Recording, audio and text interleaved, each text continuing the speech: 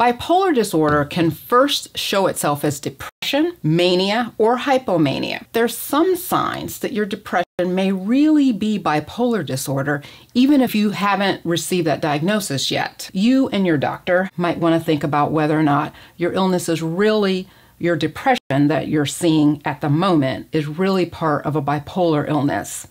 And why does this matter? Because the way that we treat bipolar disorder is different than the way that we treat depression.